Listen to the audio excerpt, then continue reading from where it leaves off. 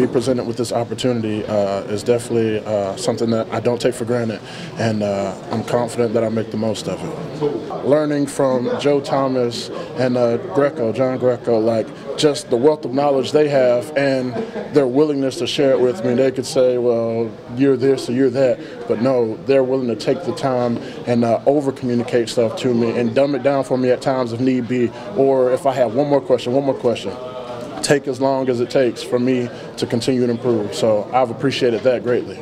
This is one of the hardest groups, of, hardest working group of guys I've ever been around.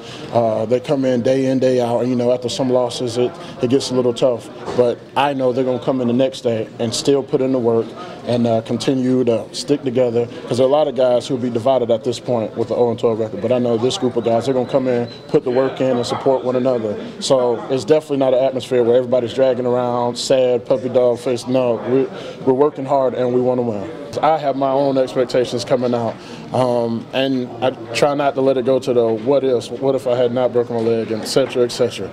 I mean, if you dwell on that, then you can never move forward. So, like I said, I had I had my own expectations, and I still have my own expectations to continue to improve and be the player I know I can be. How important are these last four games for you to show the?